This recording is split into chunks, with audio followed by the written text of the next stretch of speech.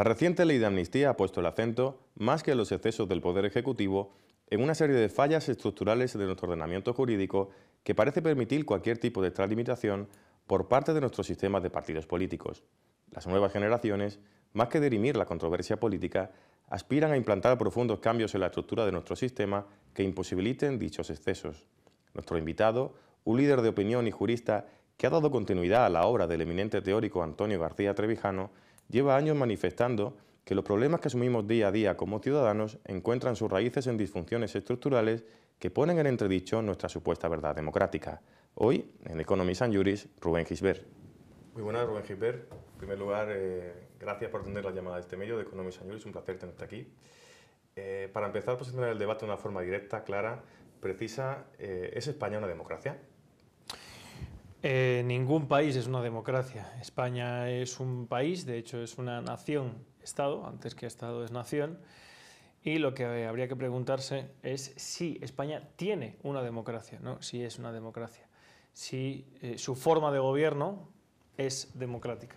No, eh, respondiendo si la pregunta va por ahí, no España. ¿Tiene España una democracia? No, España no tiene un régimen democrático. ¿No tiene un régimen democrático? No, porque hay dos maneras de referirse a democracia. La democracia como ideología, como un conjunto de ideas tendentes a la igualdad social, que es la socialdemocracia, y otra que es en clave de poder, es decir, el régimen de poder, lo que puede o no puede hacer el poder. El demos, el poder que tiene, que es el kratos, gracia es fuerza o poder, que tiene en España el, demos, el pueblo, es nulo. Por lo tanto, no tiene ninguno de los requisitos en clave de poder, eh, desde el punto de vista jurídico sería formalmente, no tiene ningún requisito que es la limitación y el control del poder, la designación o la, y la deposición, si puede ser, de los representantes políticos o de los cargos políticos y la separación de los poderes del Estado para evitar que el poder del Estado esté concentrado en las mismas manos. Ninguno de estos requisitos operan hoy en día en España, como se entiende en clave política y jurídica alrededor del mundo. Por eso España carece de un régimen político democrático. Entonces entendemos, Rubén, que tendríamos que diferenciar, por un lado, el régimen de libertades, de derechos, de la que goza la ciudadanía, que no tienen por qué estar íntimamente vinculados al concepto de democracia. Por supuesto que no. Democracia vendría a ser eh, una estructura eh, legal, bajo el paraguas del ordenamiento jurídico, que habilite un canal efectivo por el cual el pueblo tenga ese kratos, ese poder por el cual manifestar sus eh, políticas a través de un fideicomisario, de un político, Así es. al que se puedan trasladar sus demandas de forma efectiva. Entendemos, por tanto, que su visión acerca de esta, cuestión es que no tenemos una democracia, entendemos porque hay una ley, una serie de disfuncionalidades que no lo permiten, ese cauce de representación directa. ¿Cuál sería la ley que afecta de forma directa a esta no constitución de la democracia en el caso español? Es la propia constitución. El régimen jurídico que tiene España políticamente es un estado de partidos o una partitocracia. El que mejor lo definió fue el primer presidente del Tribunal Constitucional de Bonn, Gerard Leichholf, que habló, del estado de partidos, de la partidocracia, como la facultad que tienen los partidos de integrarse como órganos permanentes del Estado, suprimiendo por lo tanto el carácter de la necesidad civil, es decir, que los ciudadanos nutran a partidos políticos en el ámbito civil que sean los que después llevan al Estado las aspiraciones del pueblo y limitan y controlan la acción del poder. En España, como tenemos un sistema político y un régimen político donde los partidos están integrados, forman parte del Estado y son estructuras jerárquicas mandadas, organizadas y dirigidas por los jefes de cada partido, quien tiene el poder realmente en España son los jefes de cada partido. Eso es una oligarquía o oligocracia. El régimen jurídico es el que define siempre eh, el modelo eh, de Estado y el modelo de gobierno del cual estamos hablando. El problema que tiene la ley fundamental española del 78, mal llamada Constitución, es que no tiene poder, por eso no es Constitución.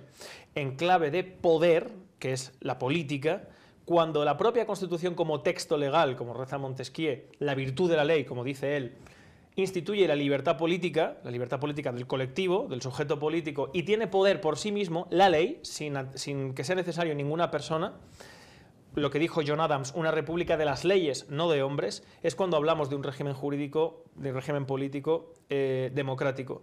En España no lo hay. El régimen jurídico, como digo, se circunscribe al ejercicio personalista de cada uno de los oligarcas que en cada momento o en cada instancia administrativa ejerce el poder. Y por lo tanto atendemos exclusivamente a su, a su voluntad y a lo que él quiera o no quiere hacer porque realmente todo lo puede. Partiendo de la base de que asume eh, que, el, modelo actual no democrático, por lo tanto, es una oligarquía de partidos, una partitocracia, entendemos que hay una serie de vicios eh, de, texto eh, fundacional, que, usted no denomina democracia, sino ley fundacional de este orden, al que denominamos, como dice, partitocracia. ¿Cuál sería el vicio de la Constitución para que esto no se, no se lleve a cabo, para que no se haga efectivo ese principio democrático? Pues como bien estamos en un canal jurídico, sería lo relativo en derecho civil, que es del que nace sobre todo el derecho tecnificado y los países que tienen derecho romano, a la nulidad radical originaria del contrato. Es decir, depende de cómo se haya dado ese contrato y de cómo se haya confeccionado ese negocio jurídico de origen. Hay un vicio de origen. Entonces. Hay un vicio de origen, por supuesto, pero tan capital, tan elemental y tan evidente como que la propia Constitución se hace a través de unas cortes legislativas, no a través de una elección de diputados, sino de una elección de una corte constituyente o una asamblea constituyente, sino que se utiliza una Cámara Legislativa, se hace una, una elección a representantes bajo una ley que entonces se hizo para transición, pero que se fundamenta en las leyes fundamentales del reino de la dictadura franquista, y se coge esa Cámara Legislativa y se designa en secreto, de espaldas a la ciudadanía, una pequeña comisión, un pequeño colegio, que en secreto, en una cafetería aquí en Madrid, la cafetería José Luis, confecciona, sobre todo, fundamentalmente, los agentes principales fueron Abril Martorell y Alfonso Guerra, junto con los regionalistas nacionalistas, que eran herederos del franquismo y querían su parte del pastel en el ámbito regional y por eso metieron el tema de las nacionalidades en los artículos de la Constitución y por eso tenemos hoy los males endémicos del Estado de partidos, los que configuran en secreto ese régimen jurídico. Después lo pasan a la Cámara, se debate, aunque hubo una indiscreción, se publicó entonces en Cuadernos para el Diálogo, dirigida por Pedro Altares, fue una indiscreción de la prensa, pero se enteraron de que estaban haciendo una Constitución en secreto.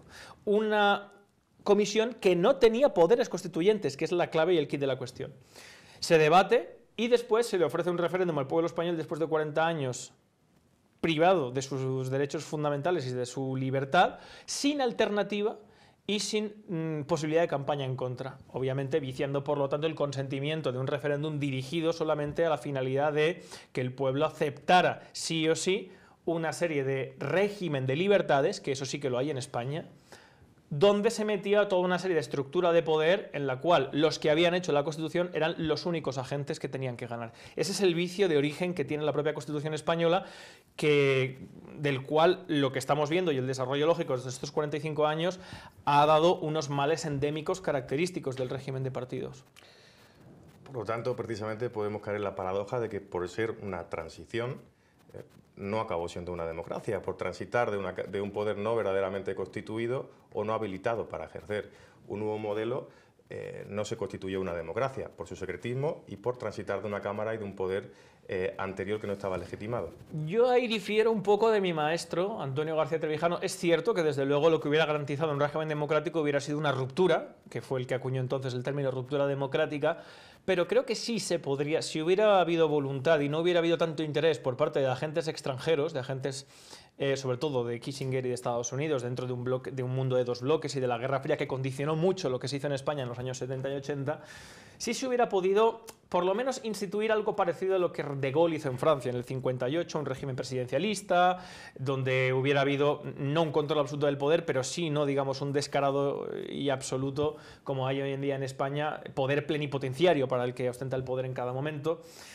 Y, eso es importante también tenerlo claro. El problema es que una vez constituido este régimen, todos aquellos que forman parte y ligan su actividad política a la supervivencia de mantenerse dentro del Estado y del régimen, es decir, hablando en plata, todo aquel que viva del erario público de formar parte de este Estado de partidos va a ser siempre, de manera natural, como explica muy bien Robert Mitchell o Wilfredo Pareto, un agente Mm, que va a perpetuar y a forjar la ley de hierro de las oligarquías, que es la, imposibilidad de modificarla, de transitar en el interior de una oligarquía a una democracia, de un régimen de partidos a un régimen democrático.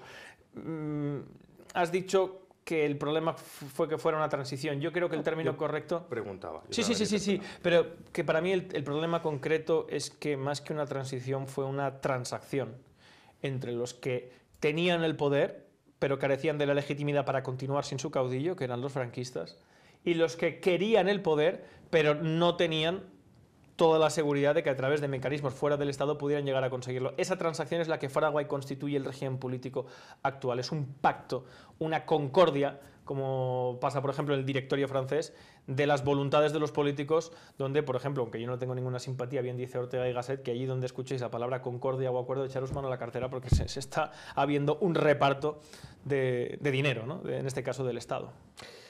Hablaba de Robert Mitchell y su ley de hierro de las oligarquías. Eh, él analizaba al SPD, el Partido Socialdemócrata Alemán, precisamente como una muestra, no sé si representativa del estado de partidos políticos, para llegar a una conclusión que, que el, representante público acaba no eh, respondiendo a la necesidad real de la ciudadanía, del elector, sino a la necesidad particular de, un partido político. ¿no? de ahí a su supervivencia. El, régimen por, eh, de, eh, no acaba siendo democrático, sino un régimen de partidos porque aspiran a la supervivencia de su estructura, que es un partido político. ¿Está España en esa situación? ¿Es ejemplificativa la ley de hierro de la, de ¿Es operativa a día de hoy para poder explicar nuestra situación actual? Desde el punto de vista de ciencia constitucional y desde el punto de vista de ciencia política, es una sea, desde el punto de vista clínico, simplemente de como observación, es un desarrollo perfecto y absoluto, la situación tan crítica en la que está nuestro país, de los males endémicos de este sistema político que basa, como bien, se dice, como bien has dicho, a través del estudio de otras personas muy inteligentes, de la supervivencia propia de la estructura de partidos. Es decir, hoy en día, para salvar la estructura política, los agentes de la estructura política, los jefes de los partidos, los partidos, tienen que llegar a asaltar la propia identidad y el propio sujeto político hasta el punto de destruirlo, de compartimentarlo y de vendérselo entre ellos.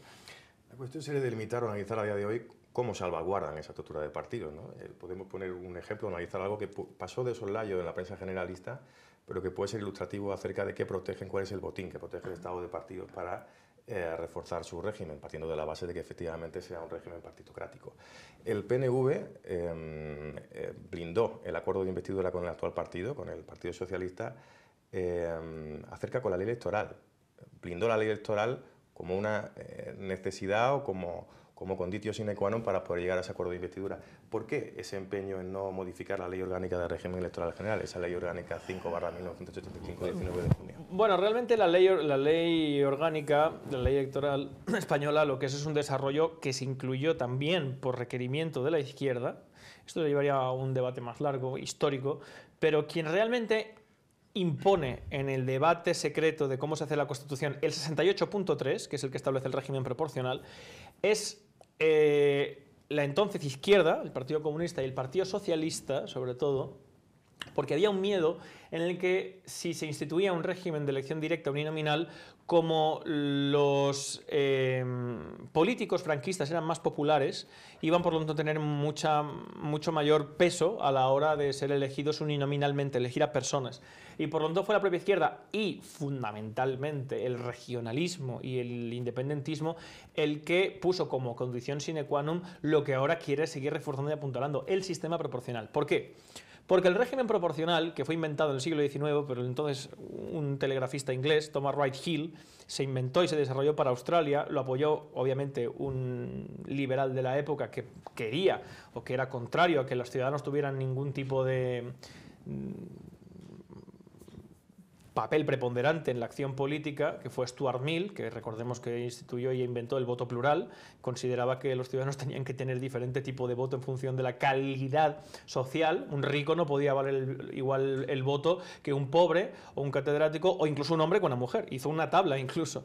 Bueno, pues eh, desarrollaron un sistema para Australia para controlar una colonia que fue el que se instituyó aquí y cuyo principal aspecto fundamental es que el voto no es para representar, no es representativo, no es electivo, es identificativo. Tú no votas a alguien porque con tu voto, que el voto es fuerza, eh, Walter Bagehol le pegó una paliza a Stuart Mill a la hora de explicar que efectivamente el voto no era moral y por lo tanto la tabla que había hecho del voto plural era absurda, porque una persona que no tenga ningún tipo de formación, sin embargo sí que sabe cuáles son sus intereses y por lo tanto sabe votar en función de sus intereses, porque lo que quiere simplemente es canalizar su fuerza hacia un representante, hacia alguien que de manera honesta defienda sus intereses, como pasa en Francia, Reino Unido o en Estados Unidos. El sistema proporcional, en cambio, se basa en la identificación. Es el caldo de cultivo perfecto, la placa de Petri fantástica para las enfermedades oportunistas, nacionalistas, regionalistas, porque hace que en el ámbito regional la gente, como no vota por identificación ni por elección, vota porque se identifica con una serie de rasgos culturales, lingüísticos, incluso gastronómicos, en definitiva, identitarios, es el caldo de cultivo perfecto para el auge de los nacionalismos y de los regionalismos, que actúan como enfermedades oportunistas de un sistema donde se carece de libertad política, la, libertad para elegir a los representantes políticos. Hablamos de identitarismo, de regionalismo, de fenómenos periféricos que pueden alterar la representación de una nación, en este caso la nación española, y de, ese, mm, de un modelo democrático que está en entredicho por la electoral, obviamente. Hablaba del sistema proporcional, entiendo que contra el sistema mayoritario de elección uninominal, como en países como Estados Unidos o Gran Bretaña, eh, pero eh, ¿qué ocurriría? ¿Qué ocurre con el Kratos cuando el sistema proporcional opera en una única circunscripción? ¿También se pone en entredicho el concepto de democracia? El sistema proporcional de por sí suprime la representación. Hay dos tipos de democracia, la democracia directa, como la de Pericles, y la democracia representativa, la elección de representantes. El sistema proporcional, aunque sea en una única circunscripción, lo que hace es que el voto, como digo, sea moral, no sea electivo. Pero ahí se suprimiría el, vicio que genera la concentración de voto periférico. Sí, pero seguiría sin ser representativo. digamos que la tesis que avala que el sistema proporcional no es efectivo por la concentración de voto en la periferia eh, y esa asimetría que genera eh, no, no. He dicho que el mal endémico que tiene es la identificación. Llevada en un estado de, en un estado de las autonomías como el actual, donde tiene tanta fuerza, los, eh, aquí se le llama distrito a las provincias, en el ámbito provincial la designación de los escaños es lo que hace que aquí tenga tanta fuerza para el regionalismo. Pero también es, recordemos, con circunscripción eh, como la que habla usted en Alemania, la que llevó la República de Weimar al auge al nacionalsocialismo alemán. Con una única circunscripción, em, el nacionalismo tendría la misma representación en la Cámara Territorial, pero no se penalizaría la dispersión de voto de los partidos mayoritarios. Y eso eh, generaría, digamos, que mayor, mayor simetría en la proporcionalidad sí, electoral. Sí, pero los vicios, eh, eh, la corrupción como forma de gobierno y como factor de gobierno, la falta de separación entre el legislativo y el ejecutivo, la falta de límite y control de la clase política seguiría exactamente igual, porque el sistema proporcional que actúa, como bien su nombre indica, por proporción requiere de una confección previa de la Cámara Legislativa donde se vota a una sigla, a un color, y se confecciona una Cámara en proporcionalidad a las sensibilidades que se ofrecen en el ámbito eh, del voto, en el ámbito a la hora de votar.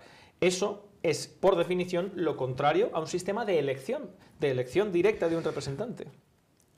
Bien, pero el sujeto de la nación, en este caso, corresponde con un delineamiento territorial que, es España. ¿no? Es fácil de delimitar. La nación española, en un Estado-nación, corresponde con, el territorio de, este país, de, España no tiene por qué, pero bueno, eh, por, puro pragmatismo político. La, nación es definible en su concepto y extensión, pero no en sus límites. la nación no se circunscribe solamente al territorio. Totalmente. La nación no se circunscribe al territorio, pero nuestro Estado-nación está delimitado en torno a unas bases territoriales que eh, eh, son el conjunto de una serie de comunidades autónomas. Em, bien, eso digamos que es sencillo, es pragmático aplicar la idea de una única circunscripción para un sujeto que la nación española. En cambio, si se produjeran varias circunscripciones con distritos uninominales, eh, ¿cuál sería la fórmula? ¿En base a qué? ¿También a la provincia? Sería, eh, no, no, no. Lo ideal sería que hubiera circunscripciones lo más pequeñas posibles, pero con una configuración ontológica por núcleos poblacionales para evitar, por ejemplo, el gerrymandering de Estados Unidos. iba gerrymandering. Ya, ya, ya, sé por dónde ibas. Pero es que precisamente eso se puede soslayar a través de una confección de distritos en la cual se atienda a núcleos poblacionales para que la propia designación del... Tenemos, tenemos que tener algo, en cuenta. Cuando se designa un representante, la función del representante es llevar a una Cámara Legislativa las aspiraciones de un, de un sitio, de un territorio. Entonces, la configuración del, del distrito tiene que estar totalmente supeditada a esa función, la funcionalidad de que se designe y florezca de un sitio concreto donde hay una serie de intereses concretos un representante. Cuanto más pequeño sea el distrito... Y una capa poblacional homogénea en cuanto al número de electores. Sí, pero no tiene por qué ser así, porque depende, obviamente, no van a haberse los mismos intereses en la cuenca minera de Asturias que en Pozuelo o que en, o que en Cádiz. Pero tiene que haber una proporcionalidad en el tamaño del distrito, circunscripción. Sí, le estoy diciendo que lo ideal es que sea lo más pequeño posible, siempre intentando que sea no mayor de 100.000 habitantes. ¿Pero qué ocurre cuando ese distrito pequeño con un número poblacional aumenta o disminuye por cuestiones demográficas? ¿Cómo se hay que alterar entonces la composición de los distritos? Sí, obviamente lo que sucede es que, o bien, la, división nunca va a ser matemáticamente exacta, porque lo que prima ante todo, como digo, es que exista ese feedback entre representante y distrito electoral. Y es la acción humana la que interfiere en ese, eh, en ese reparto también o en, ese, eh, en esa modificación del tamaño del distrito, por caso eh, en el momento en el que se modifique el, área poblacional por determinadas circunstancias demográficas. ¿no? ¿Qué es preferible? ¿Que la acción humana eh, genere y vaya modificando esos distritos electorales o partir de una única base, digamos que mucho más sencilla, más pragmática desde el punto de vista racional, que es hacer recaer el, sujeto de la nación en una única circunscripción que sería la la del Estado español? Es que el problema de un único distrito es que entonces caemos en una serie de males endémicos también propios de un sistema eh, que aunque busque la representatividad y busque la representación, no atienda realmente ni configure una Cámara Legislativa donde realmente se diriman las cuestiones que realmente interesan a, los ciudadanos, ya no solamente en clave nacional, porque hay que tener en cuenta que hay otras aspiraciones, otras necesidades que requieren su fuerza en una Cámara Legislativa desde el punto de vista regional. Lo que sí que se podría, lo que sí que sería suprimido serían las aspiraciones independentistas, nacionalistas, porque si hay un reconocimiento... Pero entonces también, digamos que el planteamiento, me imagino que, es de base, no, es operativo para un fin último, sino que de base eh, eh, para ti, eh, digamos que garantiza el concepto de democracia, o para usted garantiza el concepto de democracia y accidentalmente acaba con un problema como el nacionalismo. Obviamente, por, supuesto. ¿qué, ocurriría si un conjunto de distritos uninominales elegidos por sistema mayoritario acaban eh, sumando un bloque mayor que el que puede eh, eh, constituirse por un sistema proporcional? Es que ha apuntado usted algo para mí capital. precisamente es que el independentismo y el regionalismo en España no florece de la sociedad civil es algo alentado, construido virtualmente desde una estructura estatal. Sin el Estado de las autonomías nunca hubiéramos vivido un independentismo que pasó del 10% en los años 80 y 90 a casi el actual 40%. Si no hubiera una estructura, un subestado dentro del propio Estado español que tiene la, eh, la, educación, los medios de comunicación en clave regional para construir un discurso político favorecedor de sus intereses económicos fundamentalmente, jamás hubiéramos vivido ese auge. Por lo tanto, es virtual. Imaginemos, sin embargo, como dice usted, que en un sistema eh, representativo por eh, distritos electorales nominales, a doble vuelta siempre, em, se genera una mayoría, por ejemplo, que todos los diputados de los diferentes distritos de Cataluña fueran independentistas y quieren una independencia. Muy bien, tendrían que convencer al resto de diputados de toda España de que eh, efectivamente tiene que darse en la Cámara Legislativa Española ese tipo de debate. Pero sinceramente ya no solamente es que eso es imposible, sino que, además es una cosa que ni siquiera algunos como por ejemplo la señorita Ocasio Cortez en Estados Unidos conoce su propio sistema porque le ha oído decir auténticas barbaridades sobre Estados Unidos tiene muchas muchas deficiencias y muchos problemas, pero no se puede comprender que el hecho de que un diputado sea corrompible lleva aparejado que ese diputado pueda hacer todo lo que quiera porque requiere el voto a través de cada ley de toda la Cámara Legislativa. En el caso de España, el tema del independentismo y del regionalismo no solamente es que sería muy difícil que los diputados pudieran convencer al resto de diputados españoles, sino que además sería muy complicado que tuvieran la facilidad para poder convencer a sus electores de que los problemas que ellos tienen son porque España les roba o por una deriva nacionalista española, etcétera, etcétera. Y quizás, si me lo permite, podemos traer a colación también el, propio modelo de supuesta democracia, ¿no? si es presidencialista y parlamentarista en un sistema uninominal por distrito en régimen mayoritario, en caso de que bueno, eh, ciertas zonas periféricas de España o actualmente comunidades autónomas elijan una deriva independentista, eh, una vez electos en el Parlamento, tendrían que llegar a una serie de pactos con un partido, digamos que de índole nacional, para sumar eh, apoyos. ¿Con un partido no? ¿Con diputados? Bueno, con diputados que están, por desgracia, como, como bien sabes, sujetos a una disciplina de voto pero me está, pero me está y que acaba operando. ¿O me está diciendo no, estoy haciendo una, eh, una, una proyección. en, un régimen o sea, en un régimen político con designación nominal de cada diputado. Sí, sí, de cada diputado, uninominal y mayoritaria si el sistema es parlamentarista, tendrían que llegar a, entenderse de igual modo, sería algo parecido a lo que está ocurriendo ahora. Quiero decir, la, justificación teórica del, sistema eh, mayoritario y proporcional es totalmente asumible, discutible, pero, pero asumible, pero entiendo que el vincularlo al que podría eliminarse un efecto como el de, eh, nacionalismo periférico eh, puede llegar a tener eh, serias dudas. No, no, no en absoluto, para nada. Tal es así que incluso en los países donde sí hay un sujeto político propio, como es en Reino Unido, ni siquiera al final optan por la independencia porque capitalizan antes el interés el interés y las necesidades de los ciudadanos antes que el aspecto identitario. Aunque ahí sí que son un sujeto político y sí que podrían separarse. No, no, el, vamos a ver. Las características de, ese Estado también son diferentes a las del español. ¿Cómo? Que son diferentes. Las características demográficas y sociológicas de ese, país no responden Por eso le estoy diciendo, ni son análogas a la de Le estoy diciendo que en Reino Unido, que es Escocia sí es un sujeto político previo que puede escindirse cuando quiera y puede constituirse en un Estado y un país propio. Incluso ahí, el propio sistema mayoritario hace y obliga en el propio Parlamento inglés que no se llegue a dar esa posibilidad, aunque algunos escoceses por mayoría sí lo quieran. En el caso de España, como le digo, no existiría en primer lugar porque, vamos a ver, cuando tú hablas con algunos independentistas, y yo tengo muchos seguidores independentistas, muchos de ellos han entregado independentismo porque les han dicho durante mucho tiempo que el principal problema de los peajes, de que no hay hospitales, de la alta eh, fiscalidad, todo eso es por culpa de España y del Estado Central Español. Pero que la Generalitat de Cataluña se centra y se fundamenta en defender los intereses históricos, territoriales, nacionales, culturales, identitarios de Cataluña, bla, bla, bla, bla, bla, bla. Cuando uno entra a observar exactamente cómo funciona el sistema del Estado de las Autonomías, particularmente Cataluña, se da cuenta que es precisamente al revés.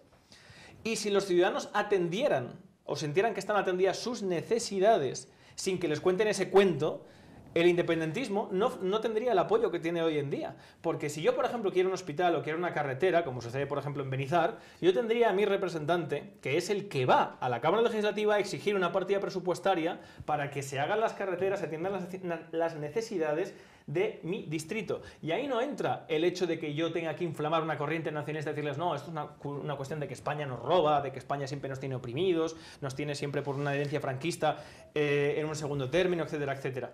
Se suprime precisamente por la propia deriva directa de la representación que, que se fundamenta en las necesidades del distrito. Digamos que vincula la operatividad del, modelo mayoritario por distritos a un eh, eh, ambiente discursivo eh, o, retórico fundamentado en el presente, en lo que ocurre en el presente, pero podría darse el caso de que sin inflamar a las masas y no de forma torticera, a su juicio, eh, no vamos a hablar de, política, que, es otra cuestión, pero de forma legítima, cada uno de esos distritos uninominales elegidos mayoritariamente decidieran, porque es su designio político, el independizarse del resto de la nación española. Muy bien, si le he dicho, muy bien, vamos a ponernos en ese hipotético pero absurdo caso, digo absurdo por las propias características. Digo porque, le digo, no, sin hablar de lo político, lo político, cualquier tipo de idea en política es legítima, incluida la de independentismo, y no quiero entrar a valorar si para ellos es legítimo o no esa postura, absolutamente lo técnico y cómo funcionaría, cómo operaría la ley electoral en ese caso. Pero le repito, cuando uno es elegido por un distrito, en un distrito, vamos a poner un ejemplo, eh, el ejemplo de Benizar, ¿no? Los vecinos están quejándose tanto que al final han decidido no participar de ningún sistema porque las carreteras están hechas un auténtico asco. La principal prioridad de esos vecinos es que las carreteras que tengan para llegar, para ir, estén en condiciones y tengan un ambulatorio. Eso es lo que quieren los ciudadanos de ese distrito. Pero los ciudadanos ¿Me deja terminar y responder a su pregunta? Sí, por supuesto. Si la acción de la política se dirigiera a satisfacer esas necesidades y las satisfaciera, entonces no tendríamos a políticos diciendo, no, la culpa de que las carreteras estén así es que España roba. Porque si nosotros fuéramos un país, si fuéramos independientes y tal, no sé cuántos, entonces sí podrían vivir con Podem. Pero no Podem porque tienen que contribuir España, tienen que tal... Ese discurso independentista que soslaya las necesidades de los ciudadanos es el que ha construido el independentismo y el que ha hecho el auge del regionalismo en España. El sistema mayoritario forzosamente hace que la política tenga que atender a las necesidades de los ciudadanos, sin dar espacio a la identificación como instrumento político. lo que está de relieve podría ser una disfunción del sistema mayoritario, que es que no puede dar cauce a, nada más que no se circunscriba a la necesidad real del día a día del ciudadano, como por ejemplo eh, eh, el que le solucione un problema con su carretera o con su hospital. Pero podría darse el caso de forma racional y no va fundamentándonos en el actual eh, estado de convivencia dentro de la nación española, sino en otro hipotético caso eh, que la ciudadanía entendiera que legítimamente se desatienden, digo esa parte de la ciudadanía, la de Cataluña, que se desatienden sus necesidades por una voracidad del Estado central, ¿podría darse el caso? Podría darse el caso, pongamos esa proyección. y, en, ese momento un grupo de, distritos uninominales elegidos por, en régimen mayoritario eh, estarían eh, representando en el Parlamento español, pongamos por caso, 60 diputados. Y en ese caso, la ley electoral, en este caso mayoritaria, por distritos uninominales operaría de igual modo que un sistema proporcional porque al final el partido, pongamos que es mayoritario de índole nacional, como el Partido Socialista o el Partido Popular, tendría que buscar apoyos para eh, ser investidos. El presidente del gobierno tendría que buscar apoyos para ser investido. No. Usted no me está escuchando lo que yo le estoy diciendo. Vamos a ver, imaginemos, imaginemos que lo que usted dice es cierto. No, si, yo no quiero plantear nada cierto ni incierto, estaba haciendo una proyección para medir la, eficacia de la ley electoral. Vale, imaginemos, imaginemos que lo que usted está planteando es así, sucede. Imaginemos que cada distrito de Cataluña tiene como principal prioridad de toda su población la independencia de Cataluña. Imaginemos eso. Independientemente del régimen... Sin entrar a valorar políticamente si responde a algo real o no, que ese no es el debate. Sí.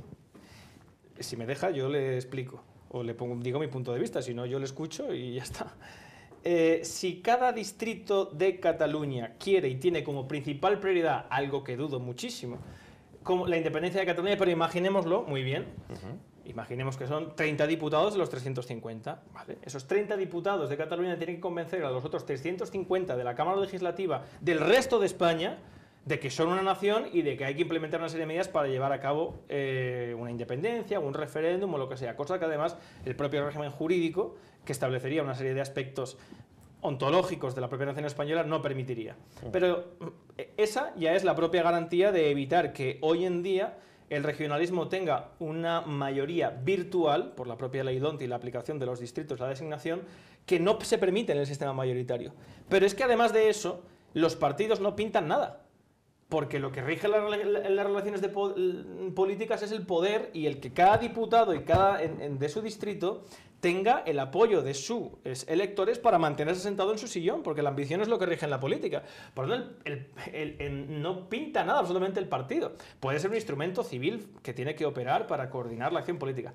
Pero es que además de eso, la investidura no tiene nada que ver, porque el sistema de designación directa, tanto los representantes de la Cámara Legislativa como del presidente, se hace de manera separada. Por lo tanto, los ciudadanos elegirían directamente al jefe del Ejecutivo que no tendría que pactar nada para ser presidente, porque sería una elección directa para el presidente del Estado y una elección directa para cada uno de los distritos, como pasa en Francia, como pasa en Estados Unidos. Porque había un régimen presidencialista, entiendo, donde se elige al jefe del Estado directamente. Claro, yo hablaba de un modelo como el actual, parlamentarista, donde, en este caso, un cabeza de lista de un grupo político, eh, pongamos por caso el Partido Socialista a través de Pedro Sánchez, se tiene, ha de granjear apoyos para sumar eh, eh, diputados y permitir su, su investidura. Tampoco es parlamentario el régimen que hay en España. Parlamentarista. No, no, tampoco es parlamentario. El régimen parlamentario que hay es el de Reino Unido porque el Parlamento tiene función. En España el Parlamento no tiene ninguna función. pero no en el sistema de elección, sino porque para usted no tiene eh, eh, una función parlamentaria, entiendo. Para mí no, porque en el momento en el que los diputados tienen una, una, orden del jefe de su partido que les obliga a votar lo que les dice el jefe de su partido, actúan en representación del jefe del partido y no de los ciudadanos. Por lo tanto, el parlamentario no tiene función. Podría suprimirse y estar el jefe de cada partido en proporción a los votos que ha tenido y sobrarían todos los diputados. El Parlamento no tiene función porque además para eso se inventa el sistema proporcional. Hablemos de la amnistía. Eh, ¿Cree que es constitucional la amnistía? Desde el punto de vista netamente jurídico, dejando a un lado la, cuestión política si nos parece o no legítima. No, no, no yo considero que en el momento en el que la Constitución prohíbe los indultos generales, no hay marco jurídico para, tal. No solamente ello, sino que cuando se establece, se hace la reforma del Código Penal en el año 95, también había una alusión a la amnistía, igual que la, la hay actualmente en la Ley de Enjuiciamiento Criminal, en el artículo 666, si no recuerdo mal, pero claro, hay que recordar que la ley de enjuiciamiento criminal se hizo en 1880 y tantos, y en ese régimen constitucional del siglo XIX sí se hablaba y se permitía la amnistía constitucionalmente. Como hoy en día el régimen jurídico supremo no lo permite, cuando se modificó el Código Penal en el 95 se suprimió forzosamente porque no se adecua a las reglas de juego, porque para mi, bajo mi punto de vista eh, y trayendo también a la menéutica y a la interpretación de los actos jurídicos, ahí está el gran romanista Emilio Betti, no se puede hacer nunca una interpretación extensiva de la legislación y establecer que como no se menta de manera directa la prohibición de la amnistía en la Constitución, por lo tanto se permite. Eso sería tan eh, absurdo como considerar que porque la Constitución no prohíbe de manera directa la tortura, se permite la tortura. Por lo tanto, como la Constitución eh, prohíbe de forma explícita y directa el indulto total, el indulto total podría ser análogo al, a la amnistía, por lo tanto sería general prohíbe. Los indultos generales en plural. Sí, sí. El total no, el total sí que lo permite, el total y el parcial. Sí, sí, Eso es lo que le hace, la hace inconstitucional, entiendo. La hace, la hace inconstitucional el hecho de que el régimen jurídico no lo implemente, como se sucede, por ejemplo, en Portugal o en otros países de nuestro entorno, y que los indultos generales eh, estén prohibidos expresamente, además de que la, ley de amnistía eh, como tal también lo, establezca, y es una ley preconstitucional en el año 77. Al igual que la del indulto, que es del siglo XIX. Em, bien, hablábamos de que hay, un, según su, versión o, la idea que usted sostiene, eh, una serie de vicios que digamos que truncan el, principio de representatividad y que hacen no efectivo el que España tenga una democracia. De representación. Fenomenal, de representación. Eh, hablemos de estrategias para poder eh, modificar ese, aspecto y tener una democracia efectiva, una democracia real. ¿Cuál sería? Hay qué pasa? Perdóneme, hay una cosa anterior que me gustaría decir. Aunque la amnistía no se permite en la Constitución, igual que tampoco se permite, porque no se prohíbe expresamente la tortura o la poligamia, aunque exista el Código Civil, me gustaría que la gente supiera que lo que está haciendo Pedro Sánchez sí está permitido por nuestro marco jurídico.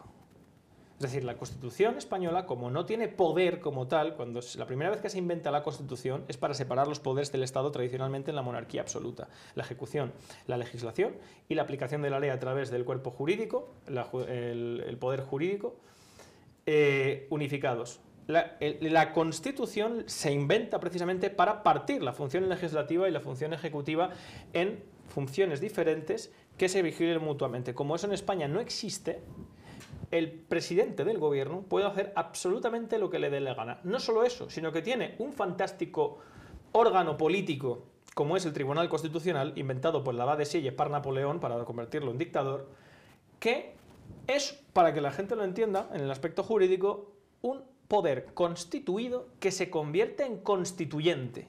Es decir, que interpreta a voluntad la Constitución para mover la portería y que la clase política puede hacer absolutamente lo que le da la gana. Lo digo para todas esas personas que están diciendo que la, amnistía sí que se puede hacer, porque se está haciendo, porque tal, no, no se está haciendo, porque el régimen jurídico en España es absolutamente papel mojado. Ese es el problema y el principal vicio que tiene la Constitución española. Hablando del Tribunal Constitucional, no estaba previsto la entrevista de la Em, ¿Cuál sería su modelo también para este tribunal o sala de garantías constitucionales? ¿Incrustarla dentro del Tribunal Supremo y cobrarla como una sala autónoma? Eh, creo que deberíamos tener un Consejo de Justicia, no un Consejo General del Poder Judicial, pero bueno, se puede mantener el nombre, aunque es una rimbombancia absurda. Pero un Consejo de Justicia donde los altos órganos, que son los que al final tienen la función de control y la función disciplinaria de la judicatura fueran elegidos por todos los operadores jurídicos, no solamente por los jueces, magistrados y jueces, para evitar el corporativismo, sino también por abogados, procuradores, médicos forenses, etcétera, etcétera. Y que no hubiera ningún tipo de injerencia del poder político, así como un presupuesto propio. Así se garantizaría que el ejercicio de la justicia fuera totalmente apolítico y despolitizado. Muy bien. Em, y desde luego la supresión del Tribunal Constitucional, que es un foco de corrupción. ¿Cuál sería, por lo tanto, la estrategia para poder eh, hacer efectivo el principio democrático? Usted ha dicho en, numerosas ocasiones que llama a no votar, ¿no? Lo, más... No, llamo a la desobediencia civil y dentro de la desobediencia civil está la abstención electoral. ¿Sería una estrategia funcional para poder hacer efectivo el principio democrático? No, es una estrategia funcional para es una estrategia funcional como mecanismo de presión para dejar sin legitimidad, sin apoyo, sin aprobación lo que hoy en día hay en España. ¿A través de qué canal se mm, asistiría a la alternativa? ¿A través de un canal no institucional para formar un, poder constituyente? ¿Cuál sería el modelo alternativo? Pues el modelo alternativo pasa por la organización ciudadana, es decir, el asociacionismo civil al margen del Estado para, entre todos los ciudadanos, independientemente de que se reúnan diferentes ideologías o sensibilidades políticas, se haga una acción unitaria y conjunta consciente, organizada y dirigida bajo unos puntos clave, que sean precisamente los de la democracia, porque si se hace una acción civil de manera, vamos a decir, desorganizada y por reacción y sin saber muy bien lo que se está pidiendo, es el caldo de cultivo perfecto para acabar en cualquier sitio. Por eso es importantísimo que lo que se construya desde la sociedad civil sea en todo momento dirigido a instituir límites y control de la clase política. Que la gente se mueva no por indignación, sino por convicción, porque sabe lo que quiere y lo que no hay en este país, porque sabe los problemas que tenemos y hacia dónde hay que ir para corregirlos. Hablando de este llamamiento a la desobediencia civil, usted Pacifica siempre. Pacifica siempre, por supuesto. Usted mismo participó en, una, no sé si denominarlo manifestación o, acampada, eh, la puerta del Congreso estos últimos días a colación de todo lo que estaba sucediendo. ¿Cuál ha sido su parecer personal acerca de la gente que se acercaba allí? ¿Cuáles eran sus demandas?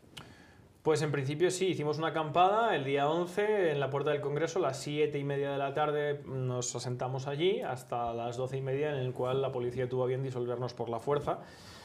Y eh, sinceramente mi percepción fue sorprendentemente positiva, porque toda la gente que concurrió a ese acto, de todo tipo de ideología, signo y clase social, lo hizo, como digo, sabiendo por qué se movía, exigiendo una serie de puntos concretos y en todo momento demostrando un coraje y una valentía que yo no recuerdo haber visto en España en mi corta vida para muchos, porque la disciplina, que no hubiera ni un solo insulto, ni un solo golpe a la policía, ni una sola algarada, y aceptar en el momento preciso la violencia del Estado de manera impasible, demostrando por lo tanto que cuando uno defiende una causa justa no tiene por qué temer nada, a mí me impresionó y desde luego me llenó de coraje para estar allí junto a un montón de gente en primera fila.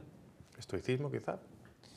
No, porque el estoicismo eh, tiene una, vertiente romántica que no considero que sea la. Asumir impasible el, golpe de la autoridad del Estado. Sí, pero aquí el, estoicismo se basa casi como un hado, ¿no? como la fatalidad que le viene al héroe romántico clásico eh, que lucha contra viento y marea. En este caso yo creo que es algo, cristianismo? Es, yo creo que en este caso es algo mucho más sencillo. Uno defiende simplemente lo que es de justicia y no tiene por qué temer en absoluto que lo que, sea lo que tenga delante sea grande o pequeño. Porque aunque la verdad la defienda una sola persona, la verdad es la verdad. para terminar, ¿qué libro está leyendo Rubén Heiber? Pues ahora mismo no tengo ocasión de poder leer porque estoy confeccionando, o estoy mejor dicho, terminando de adaptar mi trabajo de final de carrera de Derecho para que pueda ser eh, disfrutado para aquel que tenga bien leerlo eh, y salga al mercado lo antes posible. Muy bien, pues esto ha sido todo. Muchísimas gracias, Rubén Hitler. Gracias a usted.